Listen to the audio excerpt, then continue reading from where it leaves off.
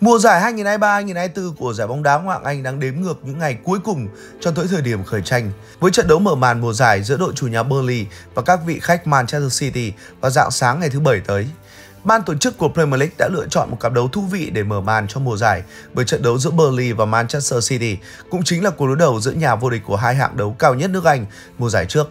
Những nhà đương kim vô địch Premier League Man City sẽ bắt đầu hành trình bảo vệ ngôi vương của mình trên sân vận động Turmoor, nơi mà nhà vô địch Championship Burnley cũng đang rất quyết tâm thể hiện mình trong ngày trở lại với hạng đấu cao nhất. Burnley vốn không phải là cái tên xa lạ gì với Premier League. Họ đã góp mặt tại giải đấu này trong 6 năm liên tiếp trước khi phải xuống chơi tại Championship mùa trước.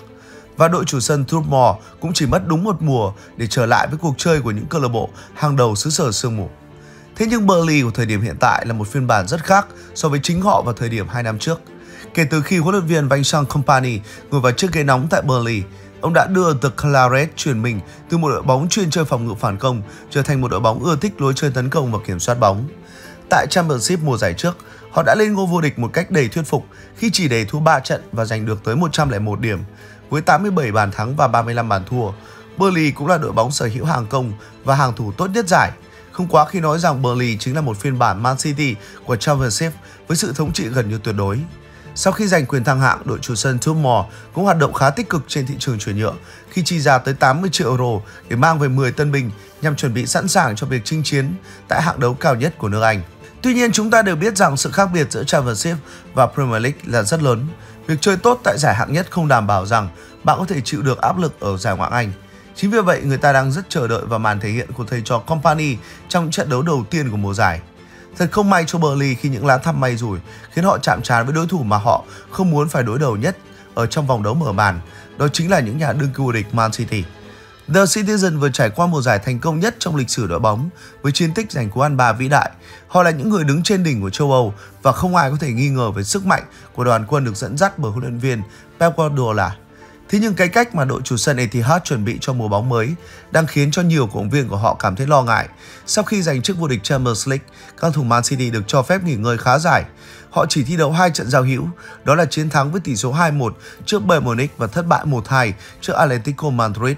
Ở trận đấu tranh Community Shield cũng là danh hiệu đầu tiên của mùa giải, họ để Arsenal giành chiến thắng trên chấm luân lưu sau khi hai đội hòa nhau một đều ở thời gian thi đấu chính thức. Man City thi đấu ít hơn các đội bóng khác trong giai đoạn chuẩn bị tiền mùa giải và thành tích chỉ thắng được một trong ba trận đấu rõ ràng không phải là kết quả mà các cộng viên của The Citizen muốn được chứng kiến. Công tác chuyển nhượng cũng đang diễn ra khá chậm chạp khi họ mới chỉ bổ sung được hai tân binh là tiền vệ Matteo Kovacic từ Chelsea và trung vệ Josko Vadion vừa cập bến từ RB Leipzig. Con số khá ít ỏi so với chính họ ở những mùa giải trước đó. Trong khi ở chiều ngược lại, Man City cũng đã để cho hai trụ cột của mình ra đi, đó là tiền vệ đội trưởng Ike Gundogan và tiền đạo Riyad Mahrez. Tương lai của tiền vệ Bernardo Silva và hậu vệ Kyle Walker cũng đang là một dấu hỏi lớn vào lúc này. Nhìn cái cách các ngôi sao của The City tiêu biểu là Jack Grealish ăn chơi đến quên cả trời đất trong mùa hè vừa qua, các cộng viên của The Citizen đang tự hỏi liệu các ngôi sao của họ đã đưa đôi chân trở lại mặt đất hay chưa. Động lực thi đấu của cao thủ là một dấu hỏi sau khi họ đã siêu tập chọn bộ ba danh hiệu lớn nhất ở mùa giải trước. Nhìn cách các đối thủ rầm rộ bổ sung lực lượng, không phải là không có những sự lo ngại dành cho Man City. Họ cần nhanh chóng bắt nhịp lại với cuộc chơi trong bối cảnh mùa giải đã cận kề ngày khởi tranh. Vì vậy, một kết quả tốt ở vòng đấu mở màn trước Burnley sẽ là cách để lấy lại niềm tin nơi người hâm mộ. Đây là một cuộc đối đầu rất thú vị khi nhìn vào cái tên xuất hiện trên băng ghế huấn luyện của hai đội. Vincent Company sẽ có dịp đối đầu với người thầy cũ Pep Guardiola trên một cương vị hoàn toàn mới.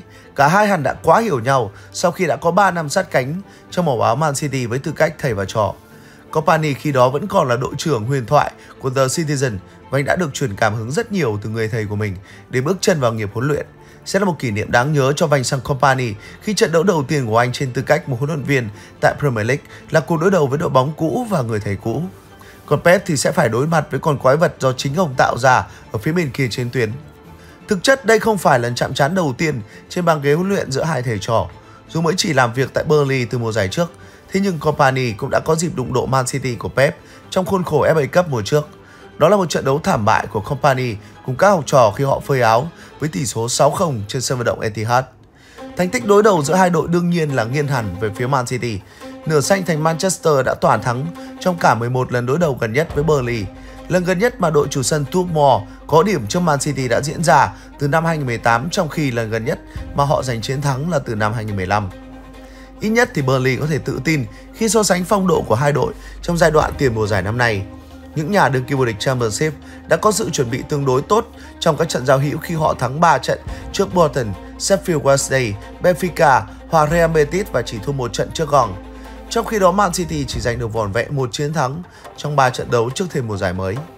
Kinh nghiệm của Vincent Company từ quãng thời gian là học trò của Pep sẽ giúp ích cho Burnley ở trận đấu tới. Tuy nhiên vẫn thật khó để họ có thể san lấp khoảng cách về chất lượng đội hình giữa hai bên. Burnley sẽ cần phải thi đấu với hơn 200% khả năng nếu họ muốn tạo nên cơn địa chấn tại vòng đấu mở màn của Premier League. Về tình hình lực lượng, Burnley sẽ không có được sự phục vụ của tiền đạo Michael Obafemi vì chấn thương. Tân binh Sanderberger vừa cập bến nhiều khả năng cũng chưa kịp góp mặt trong đội hình chính. Ở phía bên kia chiến tuyến Man City chỉ có một trường hợp duy nhất bỏ ngỏ khả năng ra sân, đó là hậu vệ Nathan Ake, người cũng đã được cho nghỉ ở trận đấu gần nhất. Trong khi đó, việc tiền vệ Kevin De Bruyne có thể ra sân trong trận đấu với Arsenal là một tín hiệu vui đối với các cổ động viên của The Citizen sau thời gian nhạc trưởng người Bỉ phải ngồi ngoài vì chấn thương gặp phải trong trận chung kết Champions League. Tân binh Josko Vadion dự kiến cũng sẽ góp mặt trong chuyến làm khách tới sân Tumor. Bất cứ đội bóng nào cũng muốn giành được một kết quả tốt trong trận đấu mở màn mùa giải. Vì vậy sẽ không bất ngờ nếu cả hai huấn luyện viên Vincent Kompany và Pep Guardiola đều tung ra những con bài tốt nhất mà mình đang có trong tay. Về phía Burnley, người đứng trong khung gỗ gần như chắc chắn sẽ là tân binh James Trafford. Thủ thành này vừa chuyển tới Burnley từ chính Man City và anh sẽ sớm có cơ hội đối đầu với đội bóng cũ. Bộ tứ vệ nhiều khả năng là sự xuất hiện của bốn cái tên Vitinho, Dara Osi, Jordan Bayer và Conor Roberts. Đội trưởng Jack Cork cùng với Josh Cullen hợp thành bộ đôi ở tuyến giữa. Ba vị trí tấn công phía trên được dự đoán sẽ thuộc về Nathan Redmond, George Brownhill và Anas Zazuri. Bộ ba này sẽ hỗ trợ cho trung phòng Jay Rodriguez. Về phía đội khách Man City, người đứng trong khung gỗ đương nhiên vẫn là thủ môn Ederson. Tân binh Josko Vadion có lẽ sẽ cần thêm thời gian để giành được cho mình suất đá chính. Bốn cái tên Manuel Akanji, Ruben Diaz, John Stone và Kyle Walker vẫn là những lựa chọn vô cùng đáng tin cậy của Pep Guardiola ở hàng phòng ngự. Đội trưởng Kevin De Bruyne đã sẵn sàng trở lại để cùng với Rodri và tân binh Mateo Kovacic hợp thành bộ ba tiền vệ. Trên hàng công suất đá chính khó thoát khỏi tay của bộ ba Jack Grealish, Erling Haaland và Bernardo Silva. Với sức mạnh vượt trội của mình, không khó để dự đoán về một thế trận áp đảo mà Man City sẽ tạo ra dù phải thi đấu trên sân khách. Những diễn biến hấp dẫn nhất của trận đấu được dự báo sẽ nằm ở bên phía phần sân của Burnley. Phần lớn ý kiến đều tin vào việc thầy trò Pep Guardiola sẽ giành được chiến thắng tương đối dễ dàng. Cái tên được chú ý hơn cả trận đấu này chắc chắn là tiền đạo Erling Haaland. Chân sút người Na Uy vừa trải qua trận đấu vô cùng thất vọng trước Arsenal khi anh chỉ chạm bóng vỏn vẹn 13 lần và không tung ra được bất kỳ một cú sút nào. Haaland biết mình cần phải nhanh chóng lấy lại niềm tin nơi người hâm mộ. Và việc chỉ phải đối đầu với một tân binh tại trận đấu mở màn của Premier League là thời cơ không thể tốt hơn để số 9 của Man City mở tài khoản bàn thắng. Còn gì tuyệt vời hơn khi giải Ngoại Anh mùa giải 2023-2024 được mở màn bằng một trận đấu giữa những nhà vô địch, nơi nhà vua của Traversip chạm trán với kẻ thống trị Premier League. Đây là lúc để Burnley khẳng định rằng họ đã sẵn sàng chinh chiến tại hạng đấu cao nhất của bóng đá Anh, đồng thời cũng là cơ hội để Man City khẳng định quyết tâm duy trì vị thế thống trị của mình sau một mùa giải đại thành công. Cả hai đội bóng đều hướng đến một mục tiêu, nhưng sẽ chỉ có một bên được nở nụ cười cuối cùng.